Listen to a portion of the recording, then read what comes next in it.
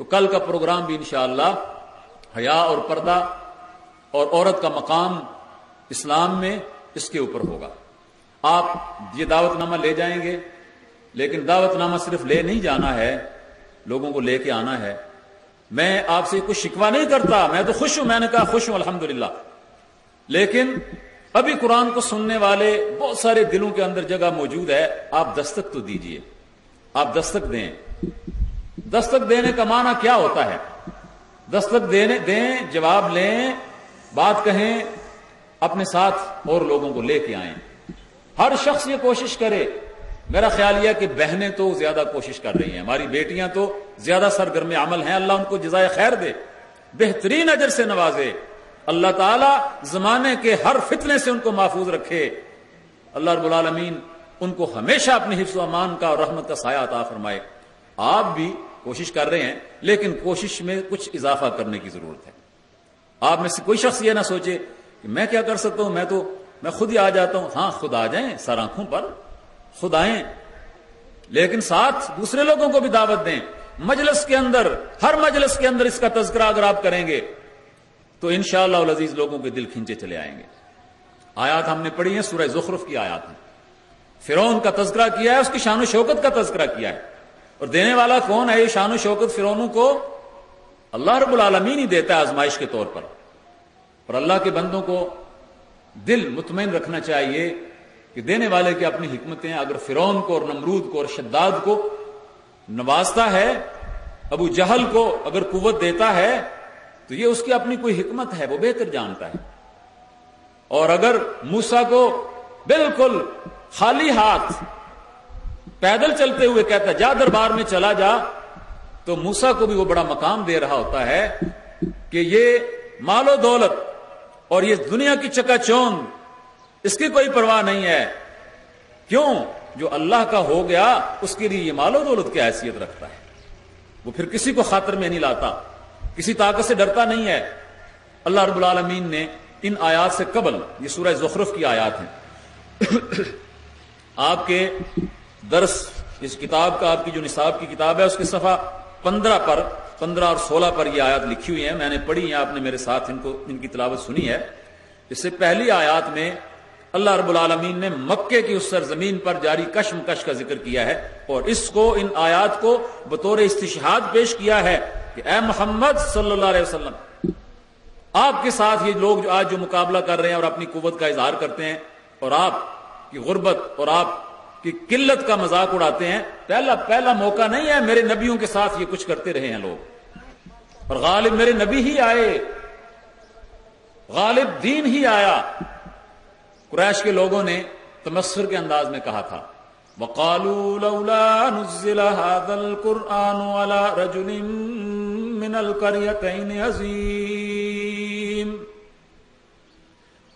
उन्होंने कहा यह कुरान अगर नाजिल होना था तो ये दो बस्तियाँ हैं, मक्का और ताइफ। इन दो बस्तियों में बड़े बड़े सरदार रहते हैं। बड़े बड़े वसाइल वाले, बड़े जथे वाले, बड़ी कुवत वाले तो उन पर कुरान नाजिल होता। ये क्या? एक ऐसे शख्स पर कुरान नाजिल हुआ है, जिसके पास मालो दौलत की फरावानी नहीं है।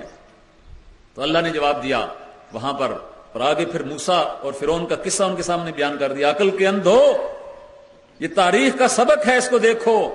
तारीख सिर्फ़ पढ़ने और पढ़ाने के लिए नहीं होती। तारीख सबक हासिल करने के लिए होती है। और जो तारीख से सबक हासिल करते हैं, फिर वो खुद अपनी एक तारीख बनाते हैं। और जो तारीख से सबक हासिल नहीं करते, तारीख की गुजरगाहों में रुसवा होकर मिट जाते हैं। उम्मत मुस्लिमा के लिए भी यही मौका है। अपनी तारीख को देखे, अपनी उस विरसे को देखे। आज के हालात में जो मुश्किल हैं, इन मुश्किल का मुकाबला इसी सूरत में होगा, जब हम अपनी उस असल कुत से जुड़ जाएँगे। अल्लाह के नबी को तसली दी गई।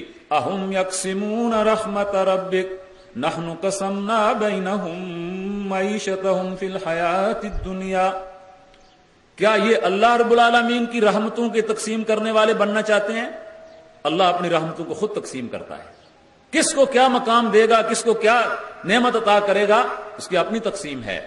नबूवत किसको देगा वो जानता है। अल्लाह आलम खैस जालो रिसालता।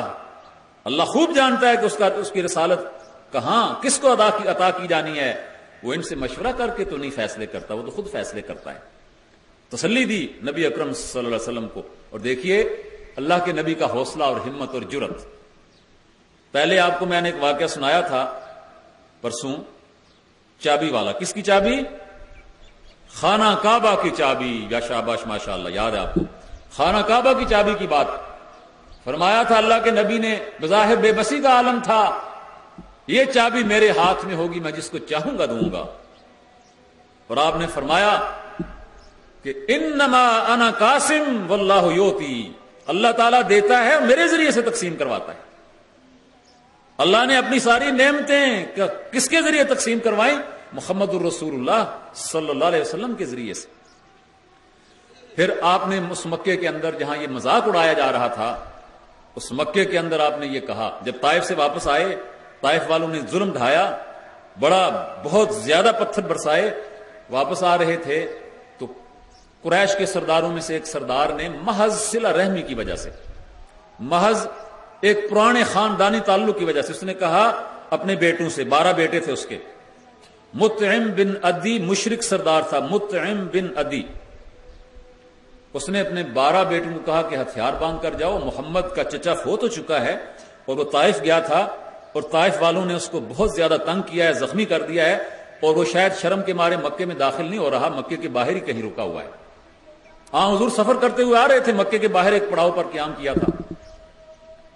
तो तुम जाओ हथियार लगाकर और जाकर उसको कहो कि हमारी अमान में मक्के में चले आओ। अब हौसला देखिए और ज़रूरत देखिए कि जब ये लोग गए तो नबी अकरम वसल्लम ने कहा, मैं तुम्हारे बाप का शुक्र गुजार हूँ। अल्लाह उसका भला करे, मैं उसका शुक्र गुजार हूँ। इस मुश्किल घड़ी में उसने अपनी तरफ़ से ये पेशकश की है, लेकिन अपने बाप का जाकर शुक्रिया अदा कर दो और उसको बता दो, मैं जिसकी अमान में हूँ, उसकी अमान मेरे लिए काफ़ी है। और उसने मुझसे यह कहा है कि कैसरो किसरा के खजाने मेरे हाथ में होंगे। मज़ाक उड़ाने वाले मज़ाक उड़ा उड़ा रहे थे, लेकिन अल्लाह के नबी ये फरमा रहे थे।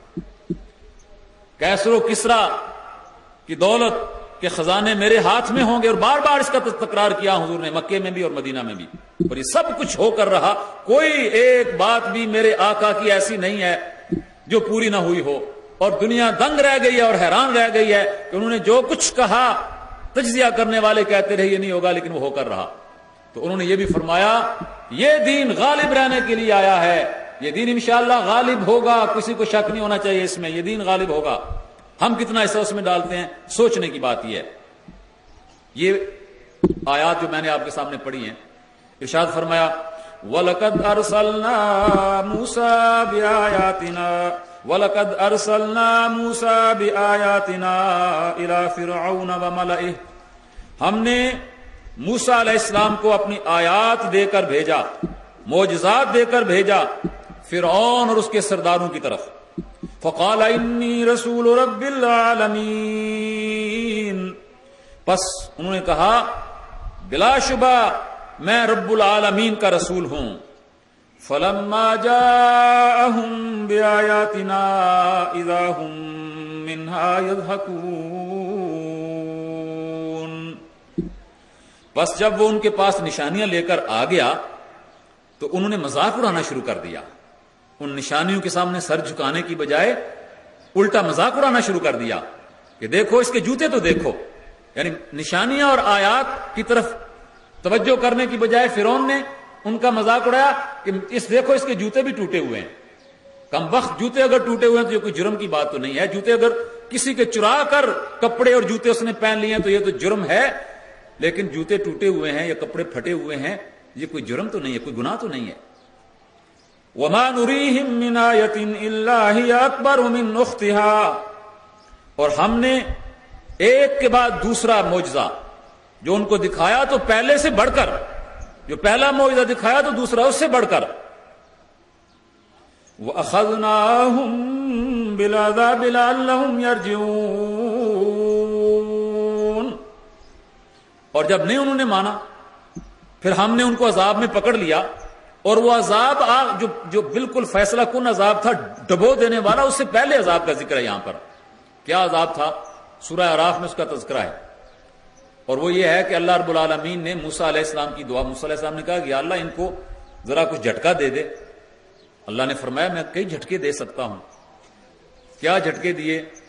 पानी उनके बर्तनों के अंदर जो था वो सारा खून बन गया। कुओं के अंदर जो पानी था वो खून बन गया। फिर आए मूसा इस्लाम के पास रोते हुए। मूसा, अपने रब से दुआ करो। और मूसा इस्लाम ने दुआ की और खून खत्म हुआ और पानी चश्मों से निकलने लगा। फिर उन्होंने बगावत की नहीं बात मानी तो मूसा इस्लाम ने फिर अल्लाह से दुआ की। मुख्तलिफ़ औकात में टडी दल आ गया।